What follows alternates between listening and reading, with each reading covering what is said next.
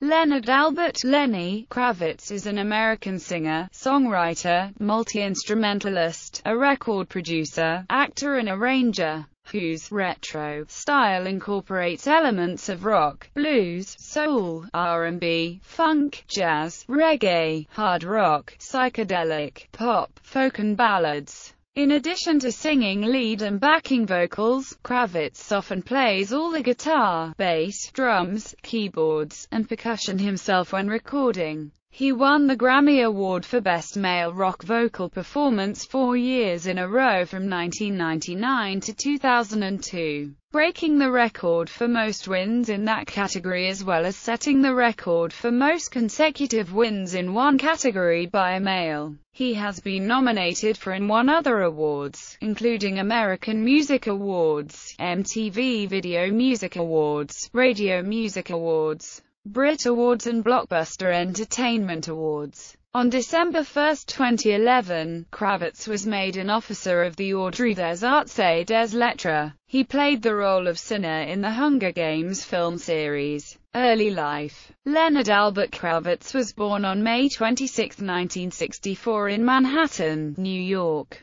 He is the son of Roxy Roker, an actress known for her character Helen Willis in the 1970s television sitcom The Jeffersons, and Cy Kravitz an NBC television news producer. His father was from a Russian Jewish family. His mother was of Bahamian and African American descent, and was from a Christian family. Kravitz is the cousin, once removed, of television weather presenter Al Roker. During his early years, Kravitz did not grow up in a religious environment. After a spiritual experience when he was 13, he started attending church, becoming a non-denominational Christian. Kravitz was named after his uncle, Private First Class Leonard M. Kravitz, who was killed in action in the Korean War at the age of 20. While defending against a Chinese attack and saving most of his platoon, he was posthumously awarded the Distinguished Service Cross but was denied the Medal of Honor. On March 18, 2014,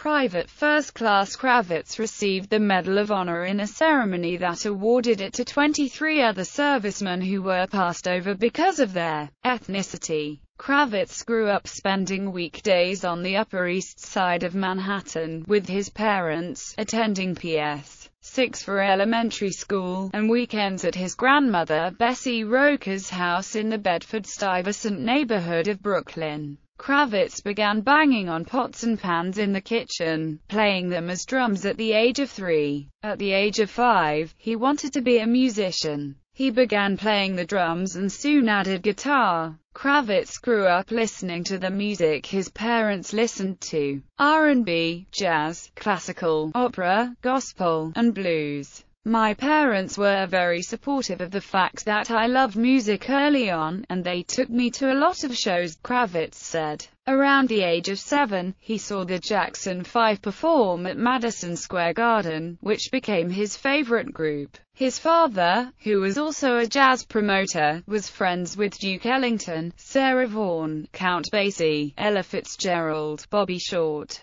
Miles Davis and other jazz greats. Ellington even played Happy Birthday for him one year when he was about five. He was exposed to the soul music of Motown, Stax, James Brown, Aretha Franklin, Al Green, Stevie Wonder, Curtis Mayfield, Gladys Knight, the Isley Brothers and Gamble and Huff growing up who were key influences on his musical style. Kravitz often went to see New York theater, where his mother worked. His mother encouraged his dreams of pursuing music. In 1974, the Kravitz family relocated to Los Angeles when Kravitz's mother landed her role on The Jeffersons. At his mother's urging, Kravitz joined the California Boys Choir for three years, where he performed a classical repertoire, and sang with the Metropolitan Opera. He took part in Mahler's Third Symphony at the Hollywood Bowl. It was in Los Angeles that Kravitz was first introduced to rock music, listening to the Rolling Stones, Led Zeppelin, The Grateful Dead, Aerosmith,